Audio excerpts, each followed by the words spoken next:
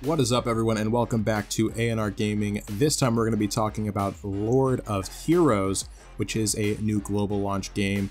And uh, we're going to be talking more specifically about 10 pro tips to help you guys progress quick. Now don't forget to like and subscribe of course, but let's go ahead and jump right into the first tip. And that's going to be pay attention to your chapter milestone rewards. Now that is located down here at the bottom left of the screen as you can see. You click that, it'll kind of show you, you can see in the background, it's kind of uh, dictating what chapter you should be on for this particular section.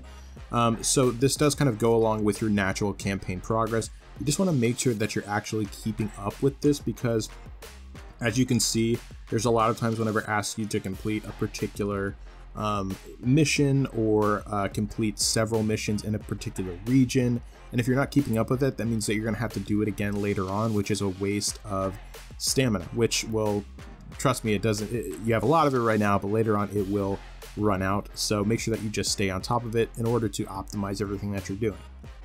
Not to mention, um, there it gives out great, great rewards that you're not going to be able to even farm until much later in the game. So uh, that's another reason to basically complete these as quickly as possible with the campaign. All right, tip number two is going to be uh, check back at the Mystic Shop as often as you can.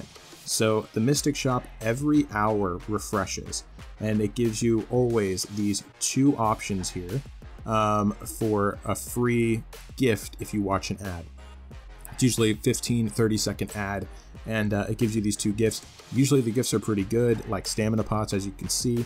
Um, those will end up being a little more scarce later on in the game, so you definitely want to make sure that you're collecting those as fast as you can, as often as you can. And uh, it'll even see it coincide quite often with these um, chapter rewards where it tells you to go to the Mystic Shop basically at least once a region. It tells you to do that and buy something, and you can basically couple that up with one of your hourly refreshes here. So yeah, just make sure that you're paying attention to those. All right, the next tip is going to be upgrade your gear. Now, as you progress through the campaign, you're gonna realize very quickly that for some reason these enemies are stronger than you. And that is because even though you're keeping up level wise, you're going to realize that this game is very gear dependent. Characters need good equipment in order to actually do well in the game. Um, even though you're matching someone in level, that doesn't mean that you're going to do well against them unless you actually have good gear.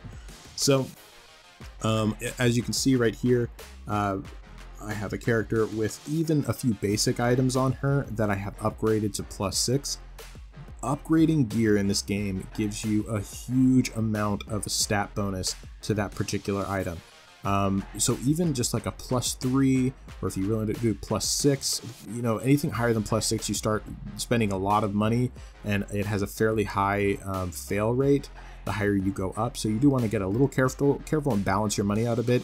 You only want to upgrade gear that uh, you really know is going to be sticking around for a long time to the higher levels like plus 6 uh, and 12, like between there. But for basic stuff, upgrade at plus 3. And uh, the more like basic an item is, the less it's going to cost for each upgrade. So um, upgrading to like plus 3 on, on you know basic items with low rarity is not going to be that much money and it's going to be so worth it stat wise. So uh, definitely make sure that you are doing that. All right, next tip is going to be uh, set bonuses. So set bonuses are super important um, for stat optimization. So basically every uh, piece of gear in this game essentially has particular uh, bonuses, as you can see at the bottom here of each item. Know, two set, some of them are higher, like four set. And uh, if as long as you complete all of those, you have you know four pieces of gear, two people, two pieces of gear that match that same set bonus. You'll be able to unlock that for the character, and that makes the character's stats far more efficient. So try to get as many of those in as you possibly can.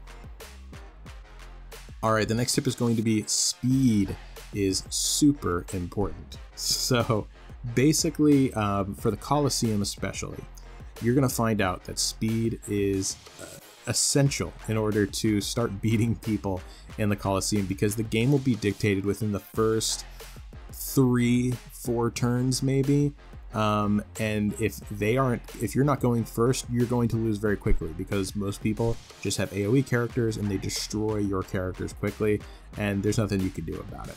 So if you have a team where basically two people go before you can go once, you're already kind of screwed. so you really want to pay attention to your speed stat. Uh, that's going to dictate if you're going to win or lose in these games.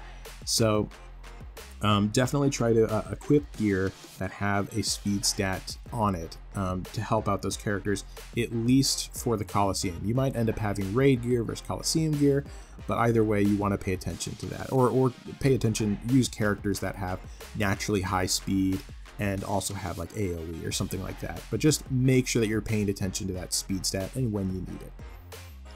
All right, so the next tip is going to be gear everyone. So in this game, um, you know, you do have your main five characters that you're going to be using throughout the campaign. You definitely want to always have them geared up, but there are a couple of different modes where having more than those five characters are going to be important. One of which is very important. Now, um, so the first one is going to be Coliseum because you can't have characters attack and defend at the same time.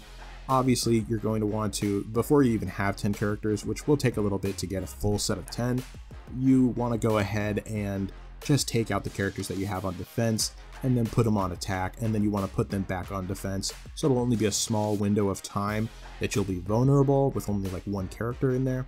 Um, but basically once you have enough characters it's a good idea to make sure that window is at least guarded a little bit with your you know second tier characters that you're going to have so you want to have them geared up a little bit and ready to go but the most important part right here is for raids. So whenever you get involved in a raid, you're going to have the ability to have in up to 10 characters. And that is where you're going to want those other characters geared up and ready to go because raids are difficult, especially at the beginning whenever you're trying to help out your alliance. So you definitely want to gear all of your characters. Um, it matters.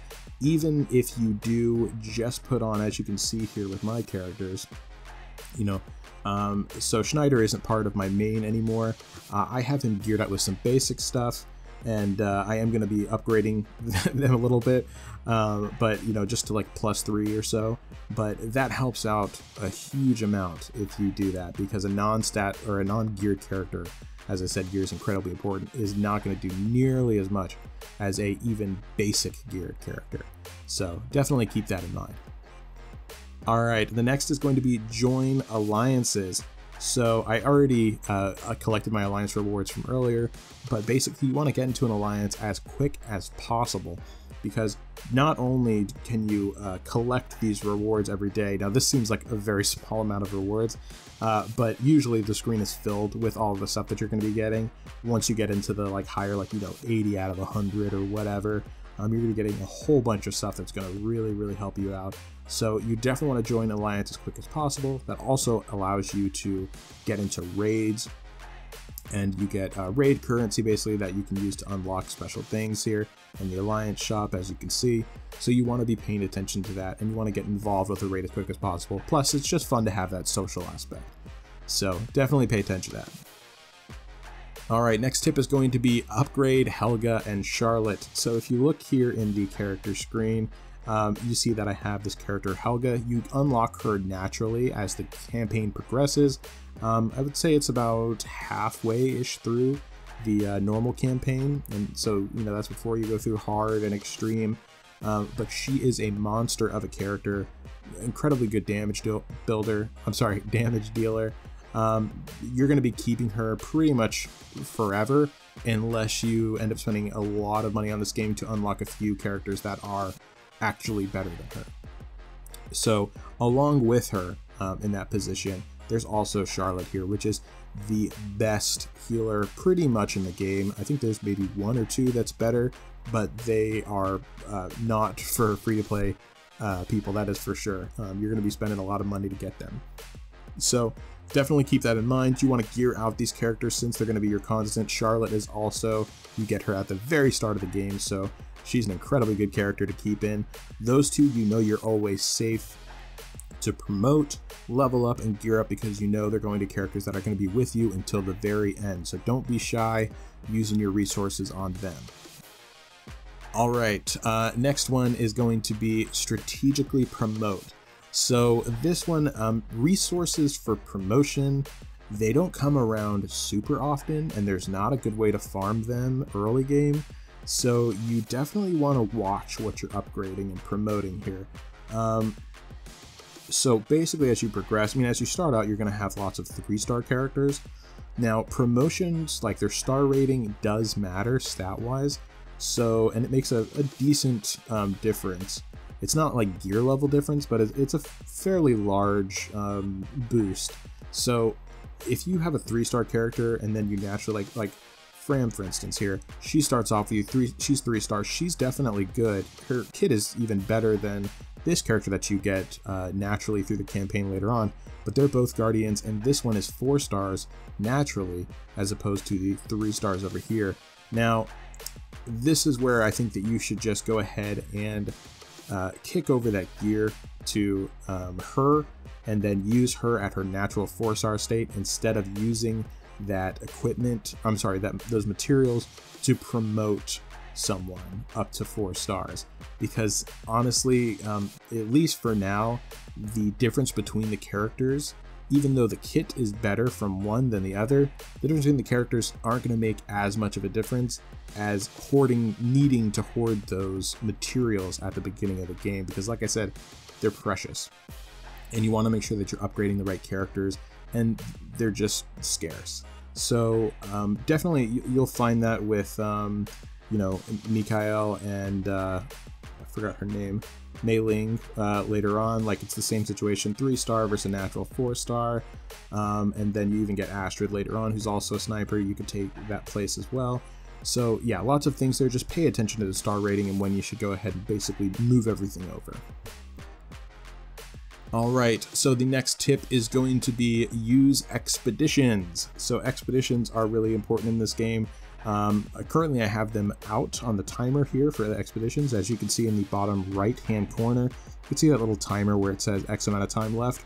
Um, basically, you have the option to send out a certain amount of people onto expeditions and uh, that depends on how many regions you've unlocked and how many characters you have but that gives you a lot of uh, materials and gear whenever they finish up. Um, it'll give you like a little prompt of choosing an option between, you know, two pieces of, or you know, two options of rewards per couple that you're sending out.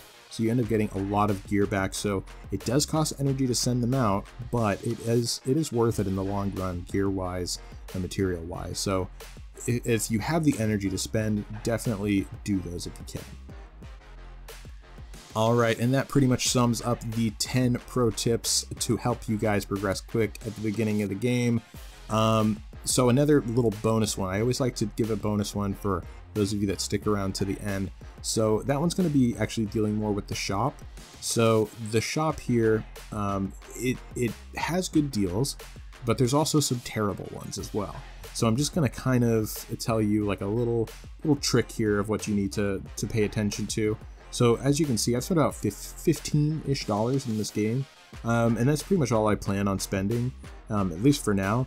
And uh, basically, I just went went down the line here and, and looked at these very cheap priced uh, options uh, packages that they have, and they're actually very very cost effective as far as what you get and what their you know apparent set values are. Because if you see here down in the Crystal Strongbox, they value 250 crystals for $5, which is absolutely absurd, by the way.